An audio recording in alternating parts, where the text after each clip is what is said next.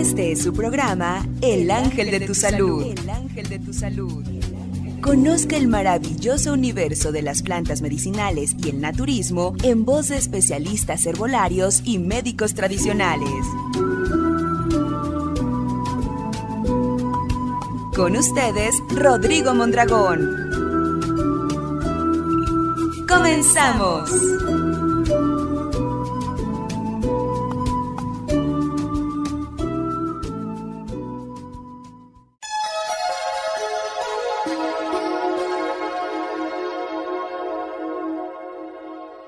Hola, ¿qué tal amigos? Muy buenos días. Con ustedes, Rodrigo Mondragón, la voz del ángel de tu salud, con el gusto y placer de siempre. Vamos a platicar acerca del vómito, ¿sí? ¿Cómo es que aparece? ¿Cómo es que mucha gente sufre bastante por esta afección, el vómito, que incluso dura mucho tiempo, días, semanas, a veces meses, y la persona no resuelve? Sigue teniendo esa, pues, enfermedad tan severa cuando no se ha resuelto, cuando no se ha alejado, cuando no se ha, pues ya, quitado, ¿no? De la vida de la persona. Bien, vómito. Bueno, primero experimentamos una náusea, que es una sensación desagradable de esa necesidad de vomitar. Vienen aparejados, ¿no? La náusea y después el vómito. La persona también puede sentir mareos, molestias en el abdomen, poca disposición para comer, ¿sí? Por lo mismo, ¿no? No consciente no aloja el alimento, lo retorna, lo regresa, lo vomita. El vómito entonces es una contracción forzada del estómago que empuja su contenido a través del estómago, a través del esófago y luego sale por la boca. El vómito vacía el estómago de su contenido. A menudo hace que una persona con náuseas, bueno, una vez que ya el contenido de su estómago ya salió, a lo mejor se siente considerablemente mejor, pero no es suficiente, habrá que ver a causa de qué y buscar exactamente cómo atender para que no continúe para que no tenga recidivas, para que no se va a presentar, por lo menos durante un tiempo, ¿no? Entonces el vómito es bastante incómodo y puede ser violento. Un vómito intenso puede lanzar, para que se den una idea, ¿no? Un vómito intenso puede lanzar el contenido estomacal a varios metros de distancia. A eso se le llama vómito en escopetazo, ¿sí? Porque la persona lo lanza alejado de su persona. Alejado, pues, cae a varios metros. No hay que confundir el vómito no es lo mismo que regurgitación. Regurgitación consiste en que sale el contenido estomacal sin contracciones abdominales que estén forzadas ni por náuseas. La regurgitación, ¿no? Un retorno, un regreso, pero sin violencia, ¿no? Las náuseas y los vómitos se producen cuando se activa en el encéfalo, ¿sí? Ahí donde se activa, ahí está el centro del vómito, desde el encéfalo. Hay que saber, ¿no? ¿Qué cosa es el encéfalo humano? Recordemos, recordemos. Es un órgano que se encuentra dentro de la cabeza, dentro del cráneo. Controla todas las funciones de un ser humano. El encéfalo está formado por miles de millones de células nerviosas y está protegido por el cráneo. Es huesos que forman la cabeza. Está compuesto por tres partes principales. El cerebro, cerebelo y el tronco encefálico. Bueno, ahora sí, en el encéfalo se encuentra el centro que controla, ¿no? que ordena, que dicta que haya vómito. Tiene sus razones, ¿no? ¿Por qué hace eso, no? A veces no las encontramos, pero siempre las tiene, ¿no? Entonces recordemos que las náuseas y los vómitos se producen cuando se activa en el encéfalo, ya vimos que fue, ¿no? De qué consta. Ahí está el centro del vómito.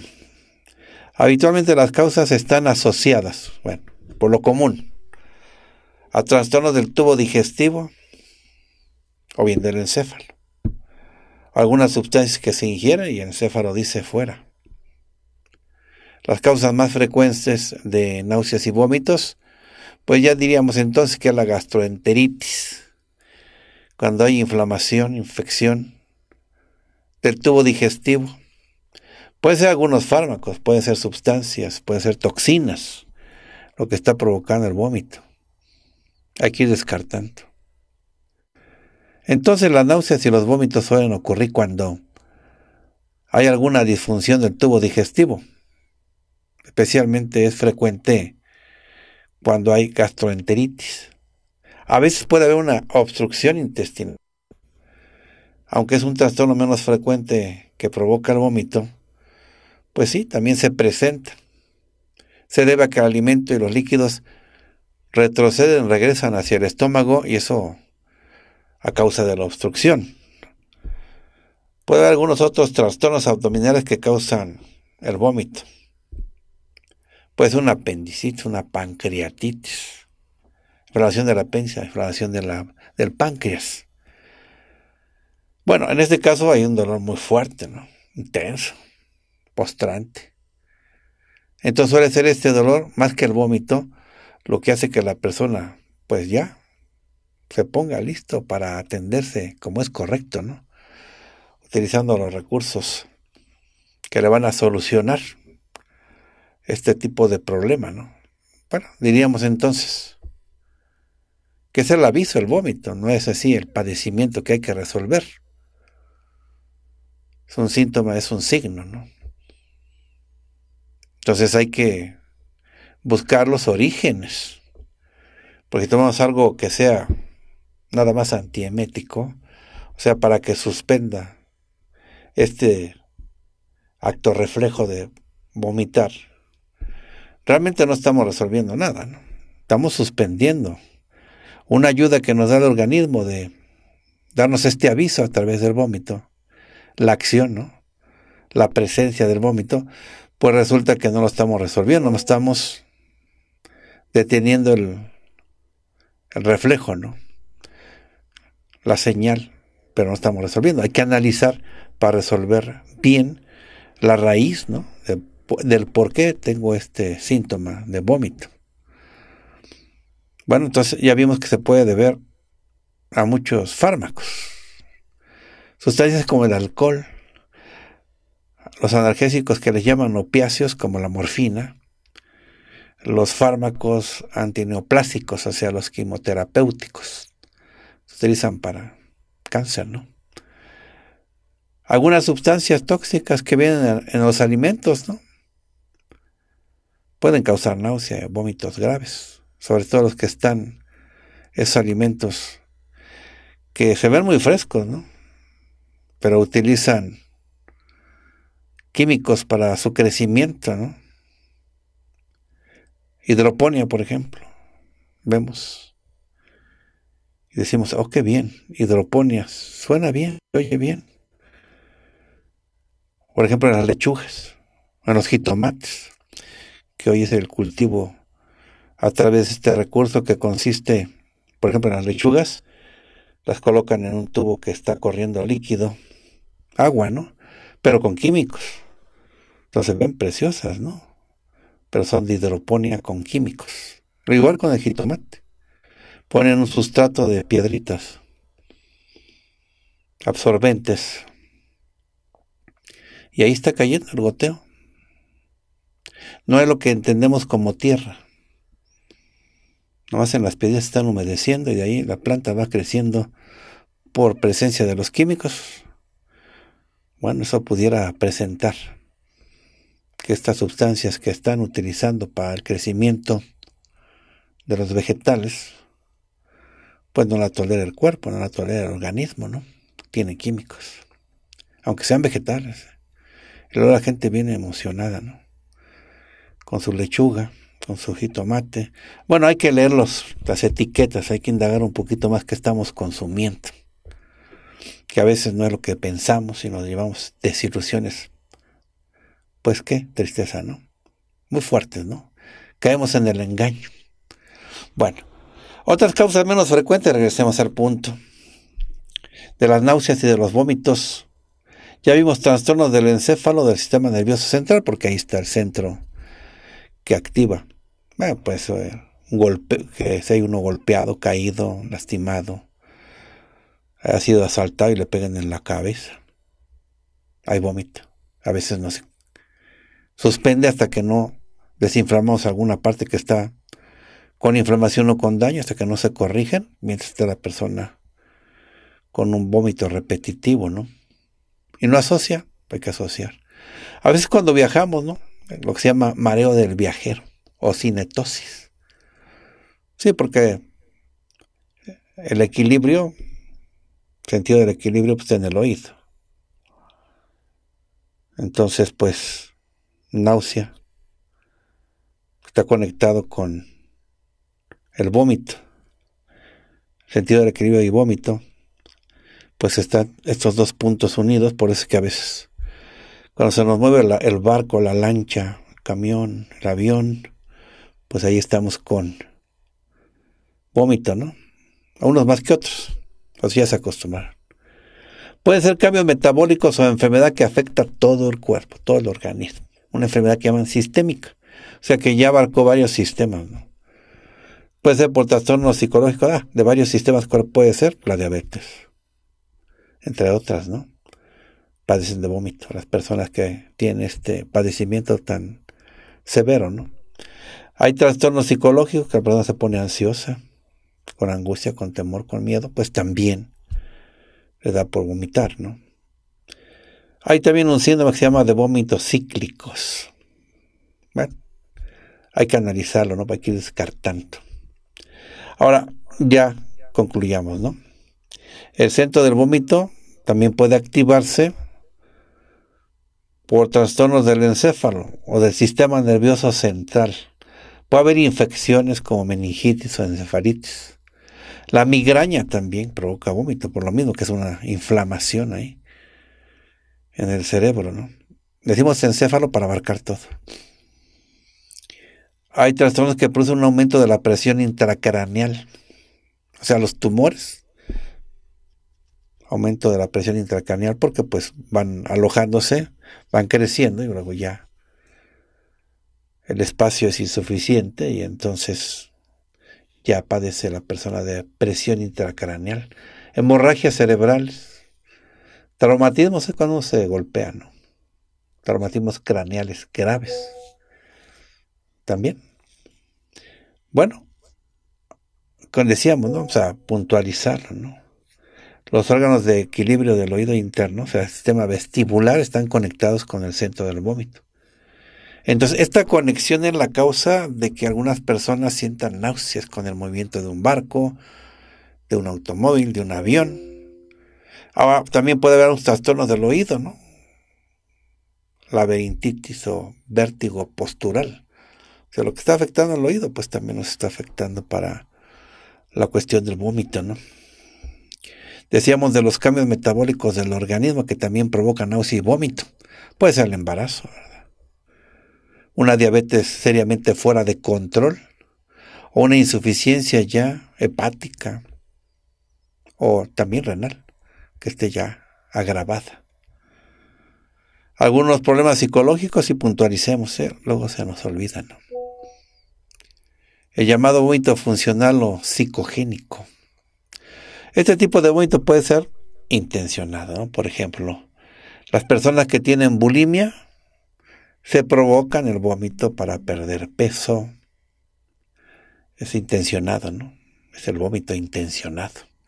Pero estamos hablando de no intencionado. Por ejemplo, ocurre hasta en pequeños, ¿no? Los niños que tienen miedo de ir a la escuela, pues vomitan como una respuesta a su aflicción psicológica. Y así, ¿no? los síntomas importantes siempre puntualizarlos porque de ahí nos vamos guiando, ¿no? Muy importante irnos guiando con síntomas y signos. Podrían ser esa sensación de náusea, hay que puntualizarla, y malestar estomacal. Incluso se siente el aumento de la producción de saliva, ¿no?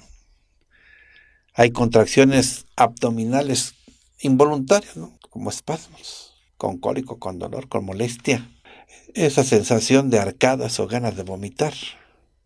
Y claro, la expulsión del contenido gástrico a través de la boca ya nos determina que hay un vómito. Pero ¿cómo se siente la persona? A veces acompañada durante este proceso de sudoración, de mareo, de palidez. Bueno, vamos a atender eso. Vamos al corte, regresamos.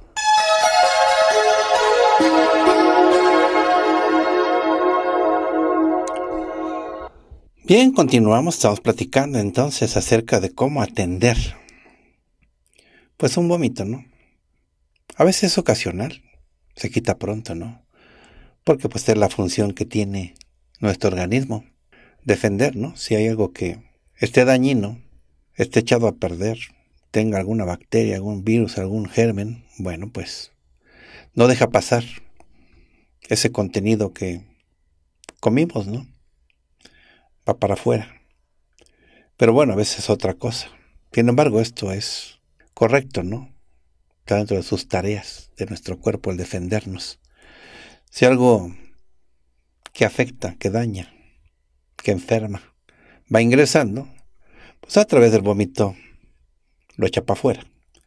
Pero luego sucede de que lo que está ocurriendo es una cosa diferente, ¿no? Hay que ir a la causa para desactivarla. A veces hay infecciones gastrointestinales. Hay una gastroenteritis viral o bacteriana que pueden causar inflamación del estómago y los intestinos. Vimos, ¿no? Consumo de alimentos en mal estado. Provocan una intoxicación alimentaria, pues sí nos lleva a vómitos. Pero también hay que atender la infección, ¿no? Que a veces no alcanza a salir todo lo que está provocando la infección y hay que utilizar un tratamiento para atender, ¿no? Para limpiar bien el tubo digestivo. A veces tenemos enfermedades del oído interno, como la enfermedad de Menier. Ese tipo de padecimiento causa mareo, náuseas, vómito. Hay que ir viendo si es eso. ¿No? Decimos descartando. Como si tuviéramos una lista, ¿no? Del mandado, en este caso de padecimientos, síntomas y signos, vamos descartando, se vamos tachando. Eso no, eso no. Hay trastornos del equilibrio como la cinetosis o mareo por movimiento. Después de un viaje o durante el viaje, ¿no? Hay que utilizar algunas plantas para viajar, ¿no? Por ejemplo, el jengibre es especial para esto. La persona puede llevar su tratamiento, ¿no? Su té ya en algún recipiente hermético. Si es embarazo, pues sabemos que es parte de un proceso que realmente habrá que tolerar, ¿no? Pero si ya pasó el embarazo, bueno, entonces habrá que tomar un tratamiento porque ya hay que recuperarse pronto porque hay que alimentar al producto, al bebé. Y pues la persona se ha debilitado, se ha fragilizado, está muy delgada, muy consumida, bueno, hay que darle un buen tratamiento para que, aparte de que se recupere, pues ya se suspendan los vómitos. Hay personas que consumen excesivamente el alcohol. Eso les irrita mucho el estómago, les provoca náusea, les provoca vómito. Ahí sí, pues, habrá que retirarse de la adicción. Ya no va por buen camino, porque hay muchos síntomas y signos que nos están incomodando. Algunos efectos secundarios de medicamentos, ¿no? Algunos medicamentos pueden causar náuseas y vómitos como son efectos secundarios. Sobre todo si se toman con el estómago vacío, pues hoy se recomienda mucho, ¿no? Que uno vea que quien prescribe la receta, pues nos oriente sobre cómo evitar el daño que se provoca porque el estómago está vacío, el químico llega de lleno, ¿no?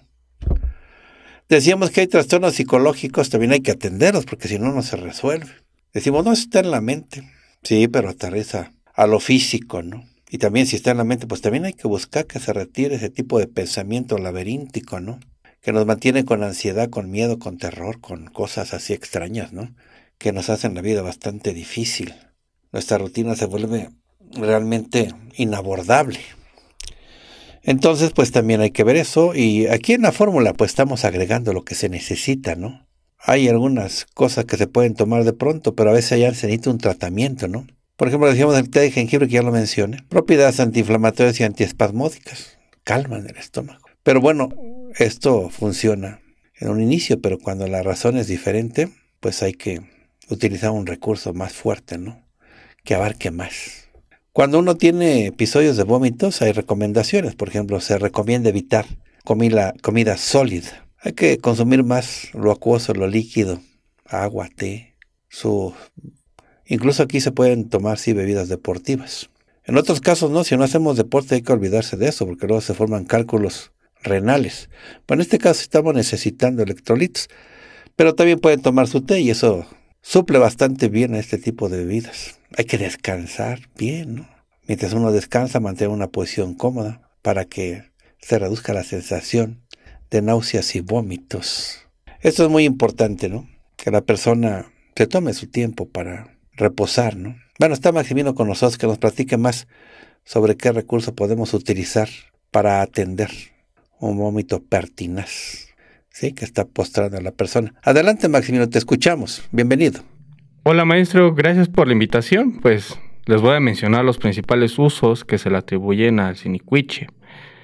Bien, pues primeramente hay que resaltar los beneficios increíbles que tiene esta planta medicinal para el sistema nervioso ya que va a traer una sensación de relajación a todas esas personas que sufren de problemas de ansiedad, muchas veces causadas por la incertidumbre sobre algún aspecto de su vida. Este puede ser personal o laboral, ya que incluso el sinicuiche va a hacer que el cuerpo se relaje y así traer una sensación de calma a la persona que consume esta planta en té o infusión para que se vaya recuperando de este problema de la ansiedad. Y no solo de esta afección, sino de todas aquellas emociones que causen un estrés físico y mental a nuestro cuerpo, como puede ser el estrés, la desesperación, e incluso para personas que realizan muchos corajes se le puede dar el sinicuiche para que logremos equilibrar gradualmente aquellos arrebatos de ira que puedan llegar a ser. Esto, las personas que sufren de problemas de ira, pues es algo muy característico. Y muchas veces aquellas personas que están habituadas a realizar corajes muy fuertes o explosivos, que son muy corajudas, como pues lo hemos escuchado habitualmente, como se les llega a mencionar, pues sufren constantemente de problemas en el estómago, principalmente porque su digestión suele ser afectada por esta clase de emociones, ya que está comprobado que la ira pues genera trastornos y desequilibrios en la digestión. Lo bueno es que precisamente el sinicuiche ayuda a problemas digestivos. Es conocido por ser un buen laxante, suave, pero es útil cuando sufrimos de estreñimiento y este pues ya nos empieza a generar molestias. La más famosa es que pues, no logramos evacuar y cuando se presenta la oportunidad pues la evacuación suele ser incompleta. Además que si tratamos de lidiar con el estreñimiento, este también pues puede generarnos un dolor intestinal, precisamente porque no estamos desechando el desperdicio.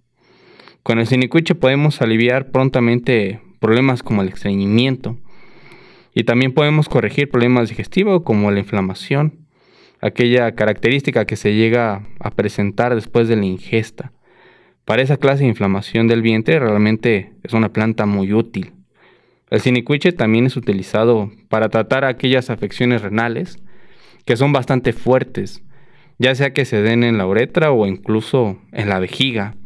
Aunque muchas veces esta clase de infecciones renales pues se inician desde los riñones. Y nos podemos dar cuenta porque casi inmediatamente pues las personas que se ven afectadas presentan un dolor muy agudo. E incluso el sencillo hecho de la micción pues les llega a generar ardor. Entonces es necesario comenzar a tratar esta clase de infecciones con el siniquiche para que podamos recuperar prontamente nuestra salud, para que nuestros riñones pues trabajen adecuadamente. Para aquellas personas también que llegan a sufrir de anhidrosis, que pues sencillamente es la ausencia de la sudoración en una persona. Esta puede ser originada por múltiples factores, desde el síndromes genéticos hasta problemas neurológicos. Y el problema es que el sudar, pues, es una acción que el cuerpo realiza para regular la temperatura interna. Y en estos casos donde las glándulas sudoríparas no funcionan adecuadamente, se llegan a producir mareos y náuseas de forma constante a las personas que se ven afectadas. Esto es una señal que el cuerpo nos está mandando para que nosotros identifiquemos que algo no funciona adecuadamente. Bien, pues con el sinicuiche vamos a lograr estimular las glándulas sudoríparas para que podamos transpirar y así mantener fresco nuestro organismo, para que podamos regular la temperatura, la temperatura interna de nuestro cuerpo adecuadamente. Adelante, maestro. Vamos al corte regresamos.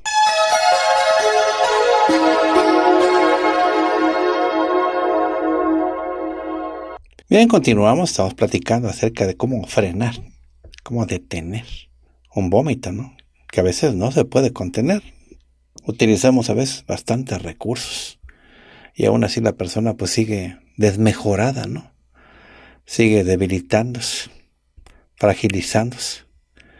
Bueno, pues lo que hay que hacer es utilizar un recurso que sea efectivo, que además ayude, ¿no? Que la persona se fortalezca, ¿no? Al mismo tiempo todos los elementos nutritivos, vitaminas, minerales que está perdiendo con el vómito, pues la recupere y en la misma acción, pues esté resolviendo, ¿no? Esté evitando que ya se presente el vómito, atendiendo a las razones, atendiendo qué subyace, ¿no? Que está por ahí oculto que hace que la persona a veces batalle tanto con su vómito, que no va a quitárselo, ¿no? Incluso se maltratan los dientes, se pulseran la boca, cosas así. Bueno, vamos a los números telefónicos para que ya nos llame. Ya estamos aquí a su disposición, a sus órdenes para elaborar fórmulas. Si nos solicita alguna fórmula, le recomiendo que proporcione a la vez un correo electrónico para que le llegue a ese correo electrónico que usted designe la fórmula que vamos a elaborar para que usted no tenga tardanza en iniciar su tratamiento. Bien, nosotros elaboramos una fórmula llamada fórmula general, fórmula del día. La colocamos en nuestra página, en fórmula del día. Y ahí, para que usted la tenga disponible, pues está a su disposición. También puede usted reenviar a alguien que no tenga fórmula para que ya cuente con una. Y además puede usted adquirir en la tienda en línea pues los productos, las fórmulas que usted requiera para usted, para los suyos. Directamente le llega a su casa en tiempo breve con la ventaja de que el envío del flete pues no tiene costo, entonces podríamos aprovechar esa ventaja. Bien, le recuerdo que puede comunicarse con nosotros a través de las redes sociales. Para comunicarse a través de Twitter es arroba la voz guion bajo del ángel. Arroba la voz guion bajo del ángel. Para comunicarse por Facebook es el ángel de tu salud México. El ángel de tu salud México. Y el programa De todos los días que transmitimos. Puede escuchar la repetición a las 9 de la noche. Les digo la página, anótenla. Radio La Voz del Ángel de tu Salud.mx. Radio La Voz del Ángel de tu Salud.mx. Bien, aprovechamos entonces para mencionar a nuestros patrocinadores. Tienda en Ecatepec, Estado de México la avenida Vía Morelos número 46 en San Cristóbal, Ecatepec, frente al Laboratorio Salud Digna y Estación del Mexibus, Estación San Cristóbal de la línea amarilla, Ecatepec de Morelos, Estado de México, teléfono, anotamos, 55 57 70 68 40. 55 57 70 68 40. La atención es de lunes a sábado de 9.30 de la mañana a 6.30 de la tarde.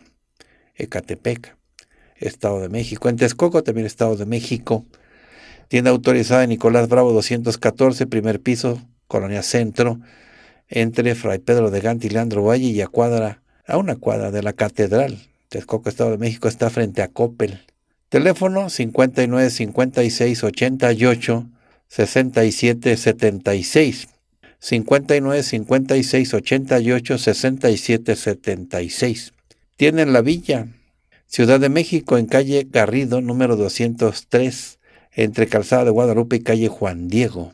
A una cuadra de la Basílica, a una cuadra de la estación del Metrobús Estación Garrido y a una cuadra de la estación del Metro Estación Villa Basílica. Anotamos el número telefónico para informes 55 15 49 0061. 55 15 49 0061. Tienda en el pasaje Catedral, también Ciudad de México en República de Guatemala número 10, interior 122, primer piso, junto al elevador subiendo. Centro Histórico Ciudad de México, atrás de la catedral.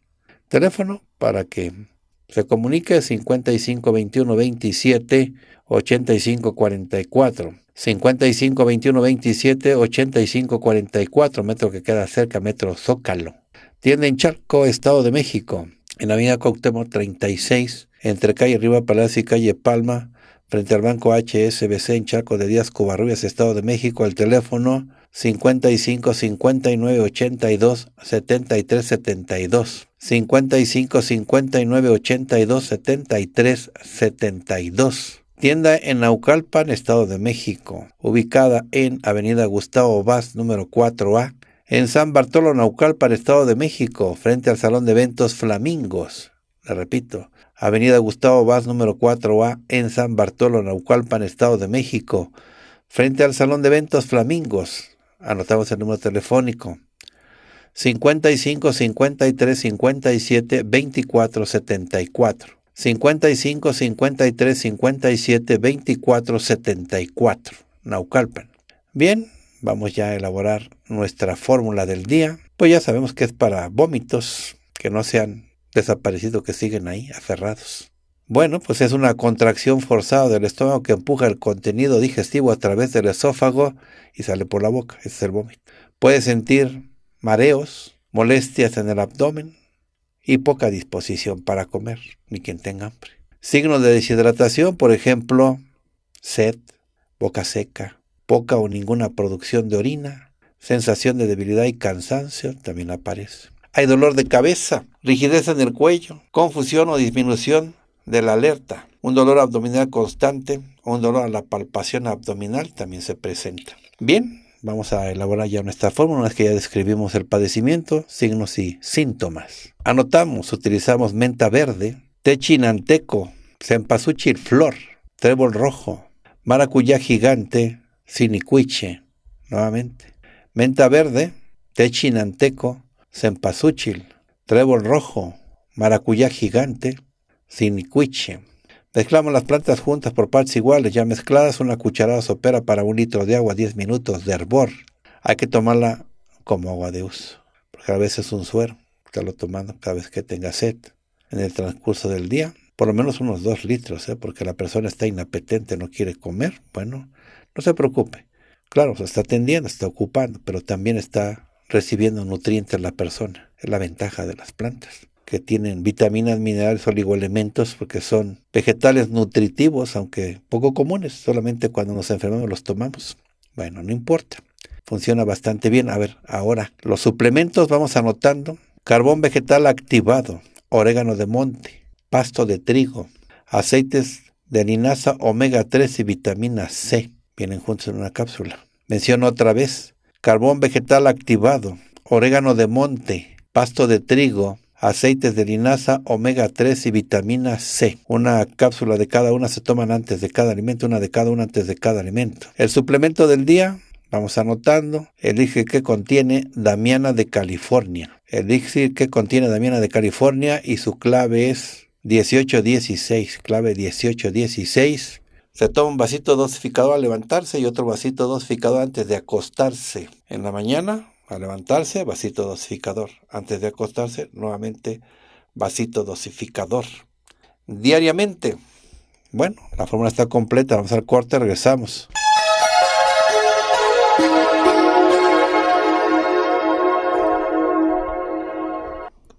Bien, continuamos. Vamos a dar asesoría herbolaria a la persona que nos esté llamando vía telefónica, así es de que vamos a iniciar dando fórmulas a quien nos llama. Iniciamos. Buenos días, ¿con quién hablo? Buenos días, doctor. Buenos días. Soy Teresa Gómez, doctor, a sus órdenes. Qué amable. Eh, sí, estoy, te escucho bien. A ver, adelante, te Mire, escucho más. doctorcito querido, estoy muy malita de la vejiga. Este, Ah, bueno. me dan infecciones, no seguido, pero sí me dan. Esta vez me dio muy fuerte y yo siento que está inflamada mi vejiga.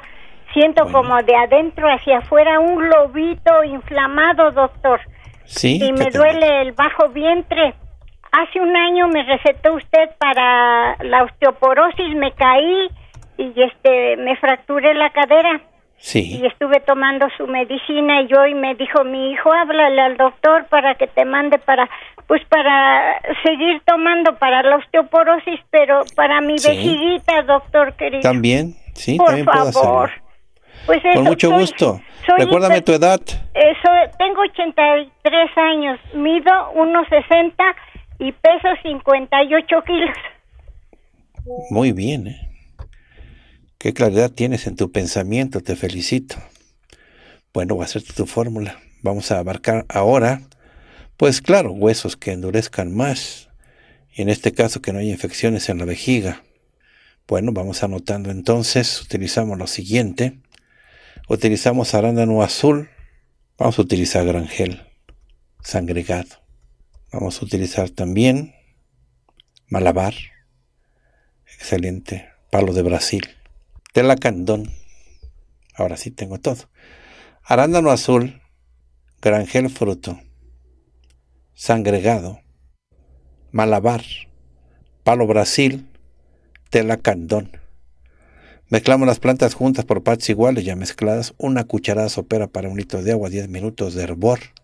Vamos a tomarlo como agua de uso. Cápsulas, vamos a utilizar albahaque, iscate, gurma, levadura de cerveza. Albahaque, iscate, gurma, levadura de cerveza. De estas cápsulas, una de cada una y se toman antes de cada alimento. Me dio gusto atenderte. Atiendo a la siguiente persona. Buenos días. ¿Con quién hablo? Buen día, doctor. Buen día. ¿Tus Sí. órdenes? Mm, Gracias. Mire, este... ¿Quién habla? te- habla Arminda Domínguez Pérez. Arminda Domínguez. Sí, adelante. A si no me equivoco. me pongo No te preocupes. Estás en confianza. Sí, ¿verdad? Gracias. Este, ver. Mire, eh, me estoy quejando de eh, la resequedad de la nariz. ¿Sí? Este, que creo que fue por oler este plaquitas para los moscos. Sí. y también inflamación de párpados. El dolor de nuca que ya se me ha calmado, pero pues me da miedo mover el cuello con así, moverlo, ¿no? Nada más. ¿Dolor de nuca tienes? Eh, es poco, pero sí me luego me causa dolor de cabeza. ¿Con tronido o sin tronido? ¿Truena Eh. cuando volteas tu cabeza? Mm, bueno, siempre me truena cuando hago de un lado para otro la cabeza, ¿no? Aunque Ah, no bueno. me duela, pero Sí, hay dolor ahora. Ahora hay eh, dolor. es un ¿Qué más? pequeño dolor ya que me queda, Sí. pero pues sí da miedo mover el cuello, ¿no? Sí, comprendo. Este, ¿Qué más? Eh, se calma un poco con mis ejercicios que diario hago. Bien hecho. Tengo flema pegada, bueno, y con la resequedad de la nariz creo que no es tan fácil que se salga. Nada más la fosa derecha es la que Sí, te da, más, da- más. lata. está más suelta la derecha que la izquierda. Sí, Más, más, este, como que está trabajando más. sí, comprendo. eh, ¿Qué más? Este, mm, ah, ah, hay algo muy que también me está molestando mucho. Bueno, me se ve mal. Son unos como barritos, pero que no crecen Sí, y son es dura la, la materia blanca, ¿no? Sí. Entonces, este y también llegan hasta el cuello, pero el cuello como es una piel muy delgada, pues yo le trato de, de jalar, pero este de, de Te lastima, apretar un poco, ¿no? Pero pues ya me di cuenta que es una piel muy delgada y sí, pues nomás baila, ¿no? sí. En- Entonces, este, también hay algo que, que me preocupa, pero ya es este, no sé si tenga algunos años, es un golpe que hace mucho, Golpe añejo. un golpe añejo en la nuca, precisamente, considero Sí. que era el, como que por el, en el árbol de la vida, de arribita, ¿no? ¿Se llama? De Pues sí, la parte del superior. cuello. Sí. Pero pues no sé si eso tenga alguna repercusión. No te preocupes, aquí lo atendemos. ¿Qué otra favor. cosa? Sí, este ese traumatismo y bueno, de cajón pues parezco de la circulación. Mala Este, circulación. de años, ¿no? Ya de años. Tomo varias pastillas para controlarla. Bueno, Y, este y bueno, vivo con un, mi esposo es diabético, pero de intenso, ¿no? Aunque su diabetes es muy suave. Yo ¿tú no tienes diabetes? ¿Mande? Tú no tienes diabetes, ¿no? No, yo no, gracias. Nada más te este eh, la hipertensión. Hipertensión, sí. A ver, recuérdame, este, ¿qué edad tienes? de 77. Y luego, ¿cuántos kilos pesas? Pues yo digo que menos de 77 también porque ya me vienen unos pantalones que, que no Que me no. entraban. Bueno, sí, entonces te hago tu fórmula para que te recuperes pronto, para que quede bien de una vez. Vamos entonces, sacando las plantas que vamos a ocupar. Anotamos entonces oreja de ratón, tequicapú, hojas de frambuesa, arucema, semilla de uva estandarizada, mirra lágrima. Bien, vamos a mencionarla de nuevo, oreja de ratón, tequicapú, frambuesa hoja, alucema, semilla de uva, mirra lágrima. Mezclamos las plantas juntas por partes iguales ya mezcladas. Una cucharada sopera para un litro de agua, 10 minutos de hervor. Se toma como agua de uso. Cápsulas, levadura de cerveza, valeriana amarilla, cisteína con coral, astrágalo. Entonces fue el carabea, valeriana amarilla, cisteína con coral, astrágalo. Una de cada una se toman antes de cada alimento. Me dio gusto atenderte. Bueno, pues estuvimos platicando entonces el día de hoy un tema muy interesante, porque a veces, sí, no hayamos qué hacer cuando el vómito continúa, sobre todo en los menores, ¿no? Pero aquí la ventaja es que con las plantas estamos nutriendo nuevamente a la persona que está en estas circunstancias. Hay que ver también a, a consecuencia de qué, ¿no? Ya vimos bastantes causas. Y esto es importante, ¿no? Porque de esta manera vamos utilizando los buenos recursos. El día de hoy estuvimos platicando del sinicuich. Vimos que atributos tan interesantes tiene esta planta que se utiliza bastante, ¿no? Desde tiempos inmemoriales. Es endémica de nuestro país, imagínense. Es un arbusto herbáceo, ¿no? Perenne, o sea, es arbusto que no se seca. Más o menos crece dos metros y medio, de hojitas verdes oscuras. Sus floritas son amarillas. Crece todo México, ¿eh? Bueno, no crece tan rápido. Su crecimiento es lento. Si no, germina bien.